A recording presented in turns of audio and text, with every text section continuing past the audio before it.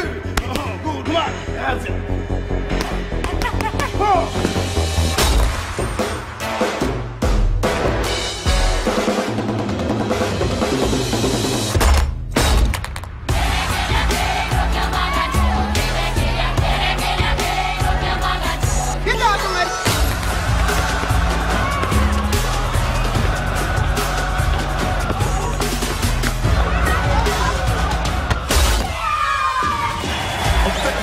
right now, feel like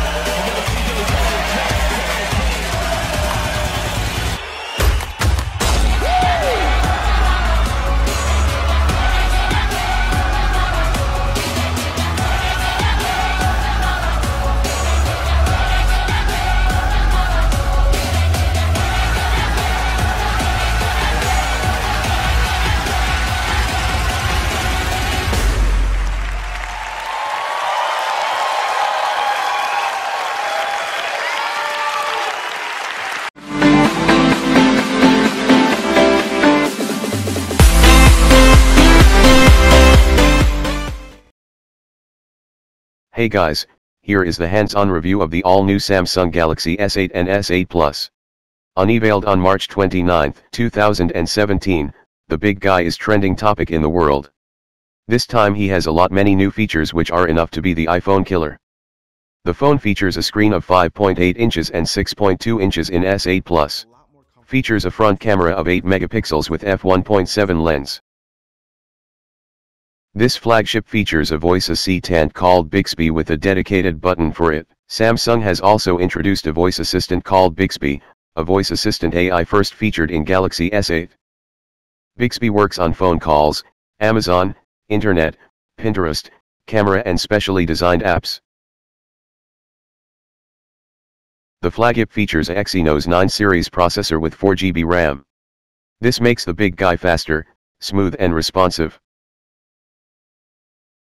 This dude features a very amazing camera. The rear camera is 12 megapixels with f1.7 lens. The camera shoots excellent photos in low light, records videos in slow motion and 4K. The photos are crystal clear in every mode like food mode, selective focus, and pro mode. Samsung has improved the aperture and shutter speed of the camera for better pictures than the S7. The S8 features an infinity display with HDR Premium. This lets the user experience each and every detail in the media precisely. Every pixel works individually in Infinity Display hence would help in watching videos in stunning clarity. Multitasking is really good in Galaxy S8. Interface is smooth while managing two apps at the same time in split screen mode. And the best part is that the phone is IP68 water and dust resistant. It can survive in water up to 3 meters. Samsung Galaxy S8 and S8 Plus come with the latest Android operating system which is Android 7 Nougat providing a better launcher and user interface.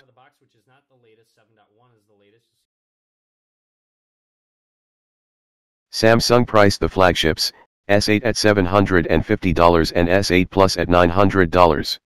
Do you think is it worth it? Thanks for watching guys, do like, subscribe and share. Stay tuned more.